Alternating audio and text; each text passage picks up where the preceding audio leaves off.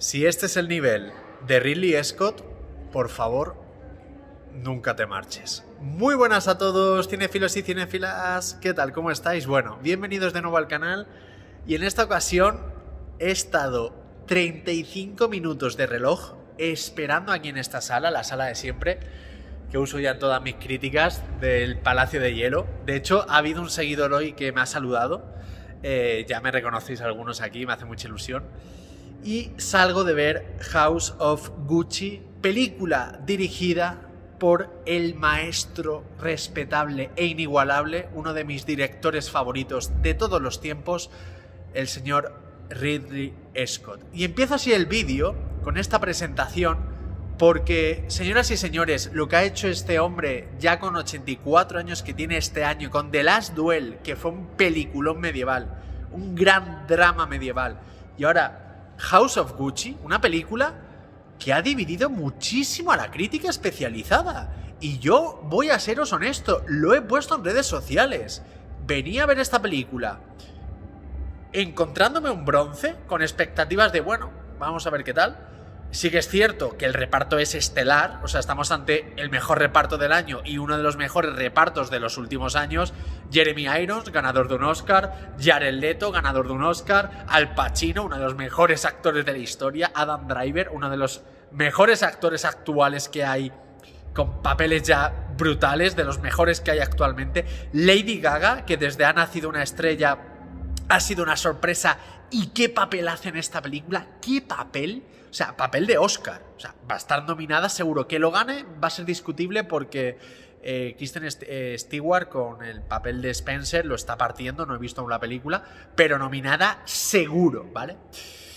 Y he venido a por bronce y he salido encontrándome oro. Vaya peliculón se ha marcado me ha dejado muy mal cuerpo la película.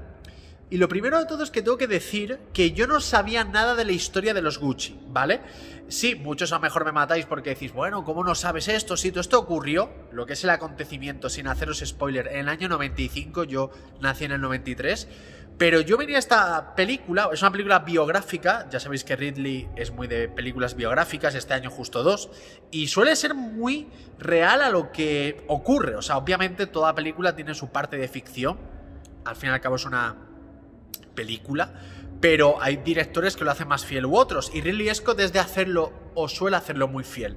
Estos 35 minutos que he estado aquí en la sala esperando a que se vaciase porque había mucha gente, que a mí me da igual grabarme con gente, he estado un poco viendo eh, lo que son los personajes reales para ver un poco cómo ha sido la caracterización, los actores, los Gucci, eh, el papel de Adam Driver, todos los... Pues un poco, incluso informarme. Y por lo que me he informado es bastante... Scott ha sido bastante fiel. De hecho, el acontecimiento que ocurre grave eh, lo ha hecho igual. Bueno, el hecho. Señoras y señores, esta película es sobre todo una lección de dirección de actores. Y cuando me refiero a dirección de elección de actores, es que Scott, si hace algo muy bien a lo largo de sus años, es que todos los actores que hagan sus respectivos papeles en sus películas los lucen enormemente. Y eso se llama dirección de actores. En The Last Duel lo ha hecho con Matt Damon, con Adam Driver que está soberbio y Dudy Corner. Y es muy difícil que en una película en la que hay tantas estrellas tan buenas, también está Samla, eh, Samla, eh, Samla, Hamla Hayet, no me sale su nombre, Halma Hayet, o como se diga su nombre. Bueno, el hecho es que en esta película todos brillan. Cuando digo todos, son todos. Al Pacino está soberbio. Desde Irishman, yo no lo he visto tan bien y hace un papel difícil. Jared Leto está increíblemente estúpido, porque su papel, si no me recuerdo, se llama Paolo, es de estúpido, ¿vale? Es Paolo Gucci, que es un tío que está obsesionado con diseñar y es un desastre como hijo y muy idiota, y hace un papel de locos. Adam Driver, que hace de Mauricio Gucci, que es el protagonista de la historia, está increíble esa mirada, esa apariencia Gucci, esa pijería, esa elegancia, esa pose, ese, esa presencia y Patricia, eh, que es Patricia, eh, no sé qué, Driane o algo así, que es Lady Gaga, que es la coprotagonista, está impresionante. O sea, es que está. O sea, tiene un, es el personaje que más evoluciona y luego que involuciona. Y está espectacular. Jeremy Irons, que hace del padre de, Mauricio Gucci, uno de los mandamases Gucci, está soberbio también. O sea, es que están todos geniales. Es que están todos geniales. La dirección de la película es excelsa también, es muy buena, cómo está montada para que nos fijemos en primeros planos, sobre todo de caras, de miradas, etc. Y nos va a contar la historia de la desgracia de los Gucci.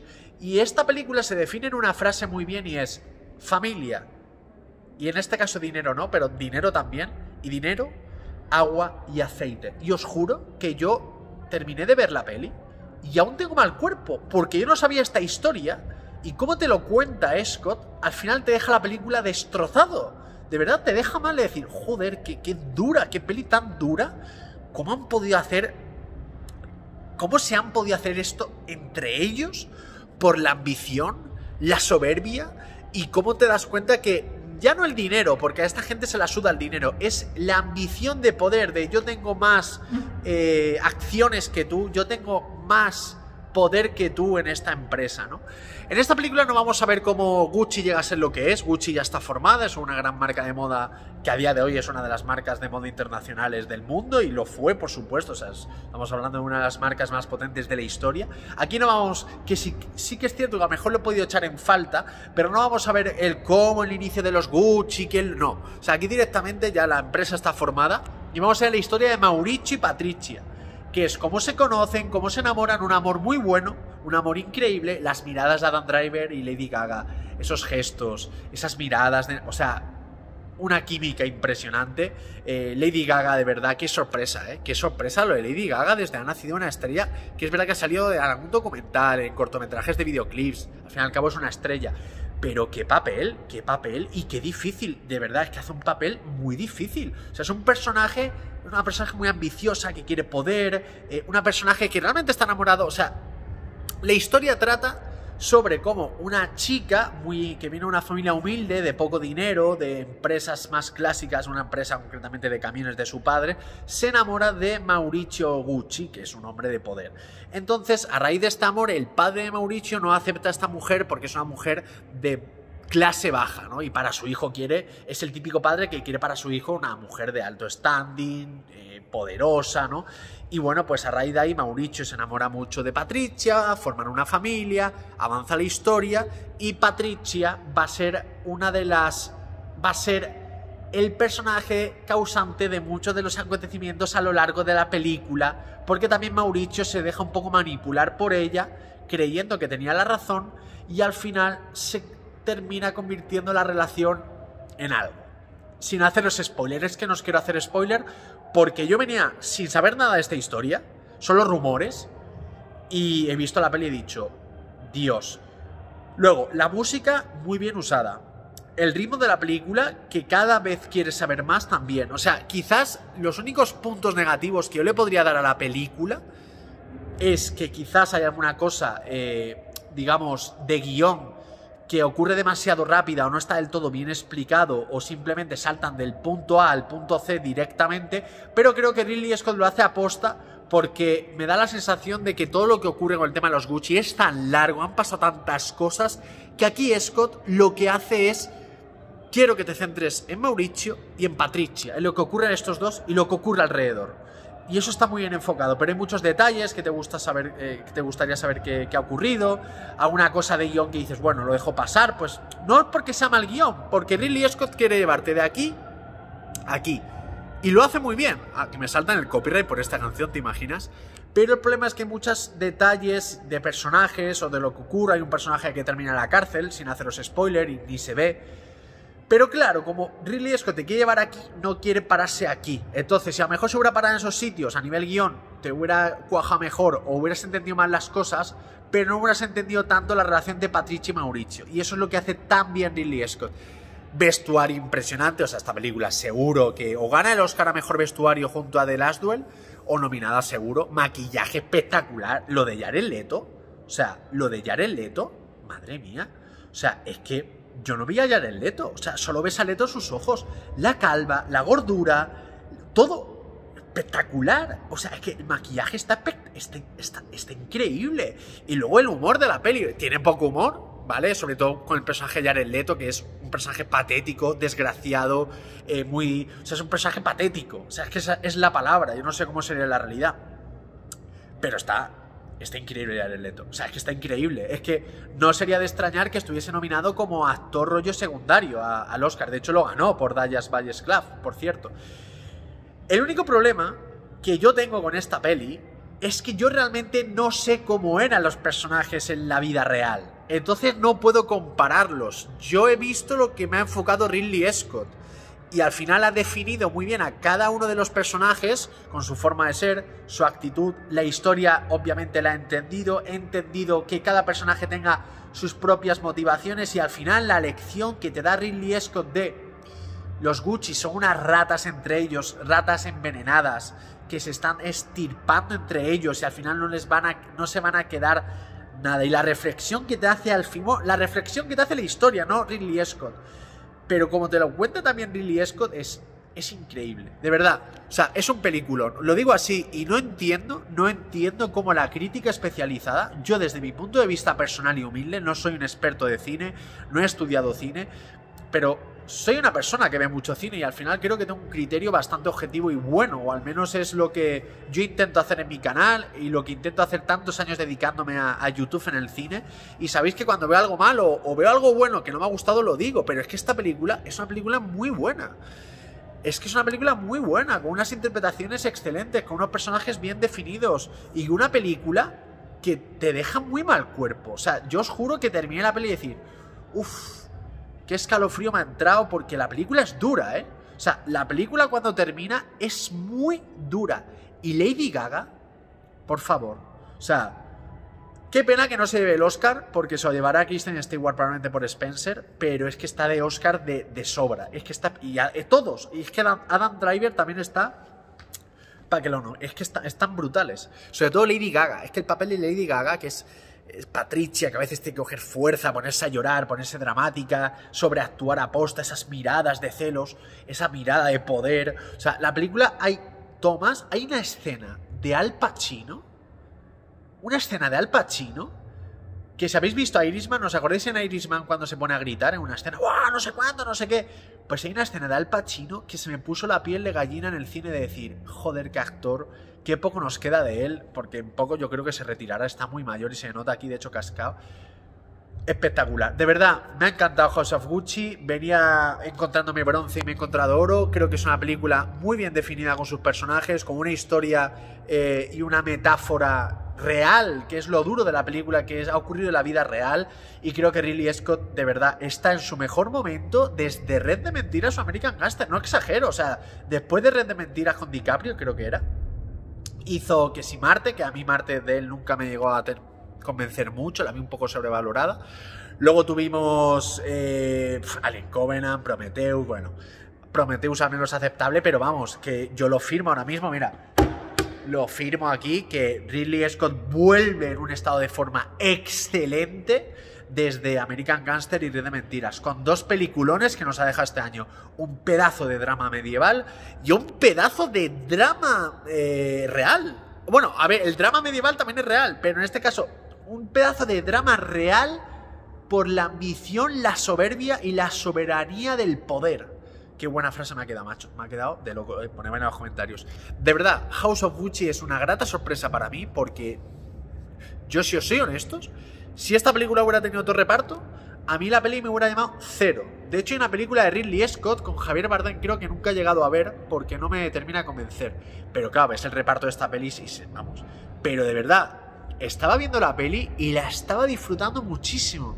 Y la he disfrutado mucho y me ha encantado. Ya os digo, creo que el fallo que me doy en esta crítica a mí mismo es que como no conozco a los personajes de, de verdad, no puedo llegar a compararlos.